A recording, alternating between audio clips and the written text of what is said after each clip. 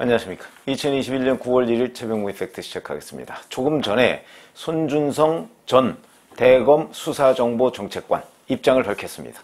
뭐라고 얘기를 했냐면 이게 이제 윤석열 전 검찰총장의 고발 사주 의혹의 당사자 인 것으로 어, 그렇게 이제 지목받고 있는 사람입니다. 현재는 대구고검 인권보호관이죠. 기자들한테 메시지를 보냈더군요. 그래서 이렇게 얘기를 했습니다. 일부 매체에서 제가 김웅 의원에게 고발장 및 첨부 자료를 발송했다는 의혹을 보도했으나 전혀 사실이 아님을 다시 한번 말씀드린다. 향후 이와 관련한 근거 없는 의혹 제기와 이로 인한 명예훼손 등 위법 행위에 대해서는 강력한 법적 조치를 취할 예정이다. 이렇게 얘기를 했었는데 이 뉴스버스라는 인터넷 매체가 첫 보도를 했을 때 그 당시에도 이 일이죠. 이 일에도 이 손 검사는 황당한 내용으로 나는 아는 바가 없어서 해명할 내용도 없다. 근데 이 입장을 견지하고 있는 겁니다. 자 그러면 지금 언론 보도에서는 김호수 검찰총장의 지시에 따라서 대검의 한동수 감찰부장이 이 손준성 정책관의 PC를 확보했다. 뭐 심지어는 거기서 뭐 이 판결문하고 뭐 보낸 자료가 뭐 나왔다는 얘기까지 지금 뭐 비공식적으로 막 돌아다니는 기사화되진 않았습니다만은 그렇게 소문이 돌아다니는 상황인데도 불구하고 손 검사는 확실하게 부인을 했습니다. 자 그러면 이게 뭘 의미할까?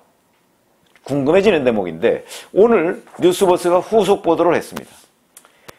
근데 그 후속 보도는 이런 겁니다. 김홍 의원이 텔레그램 채팅방을 통해서 보낸 고발장 이건 뭐 보냈다는 걸 뭐 거의 그 확언을 하고 있습니다. 고발장 등에는 전달된 메시지, 손준성 보냄 뭐 이런 것들까지 다 있다. 그러면서 그 주고받은 걸 공개를 했습니다.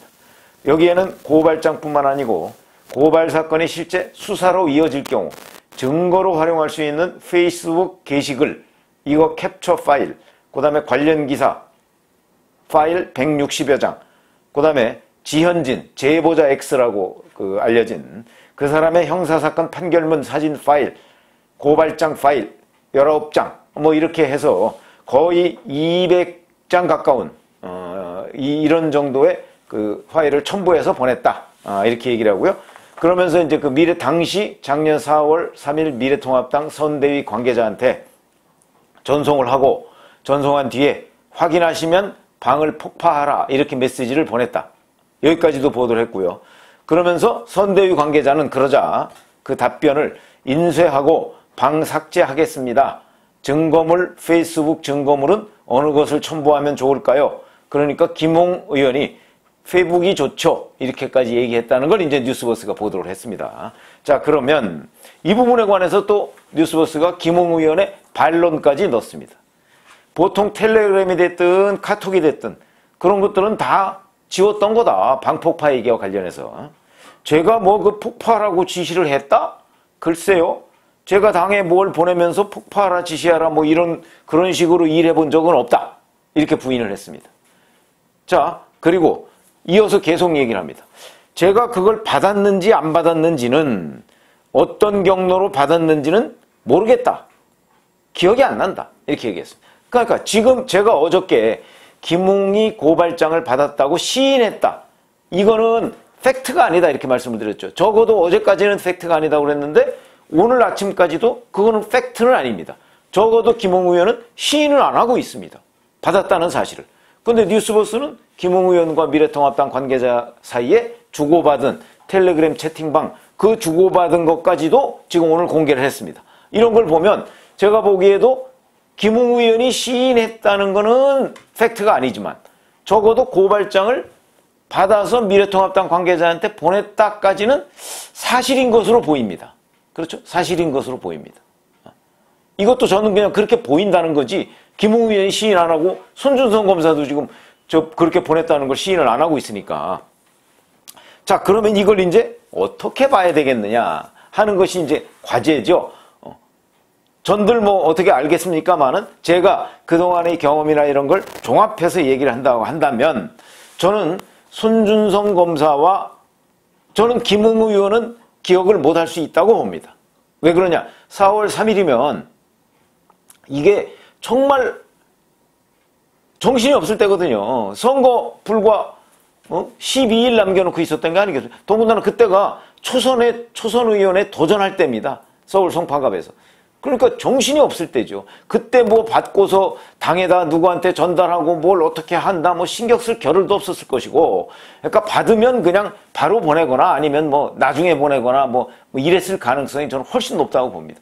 그러니까 기억을 당연히 못하는 것이 못할 가능성이 훨씬 더 많다 이렇게 생각합니다.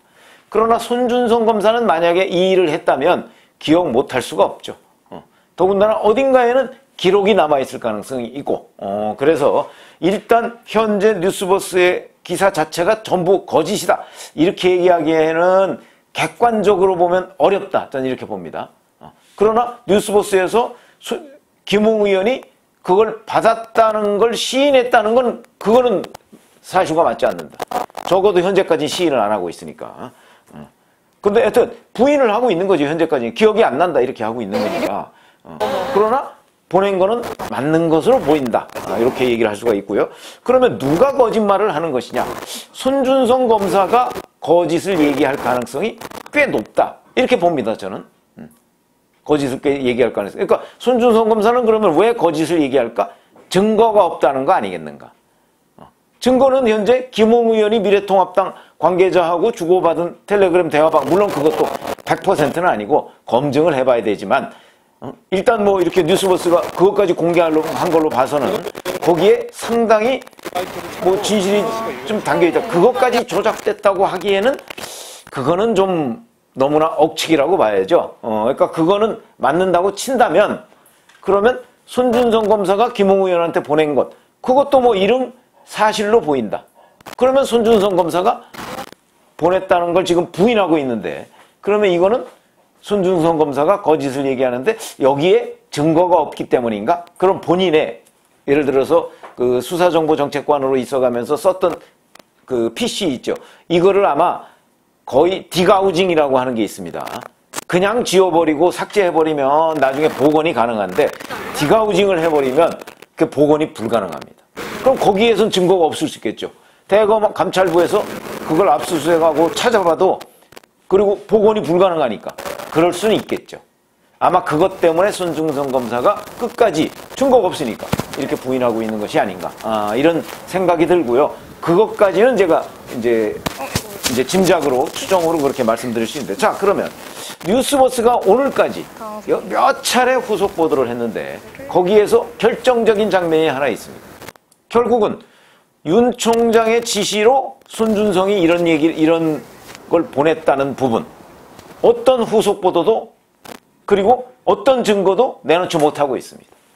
그러면 처음부터 이게 윤석열의 고발사주 의혹이라고 프레임을 딱 그, 정했는데 지금 그거에 대한 후속 보도가 전혀 없는 거 아닙니까? 근거도 내놓지 못하고. 그러니까 그런데 손준성 검사는 추미애 표 인사고.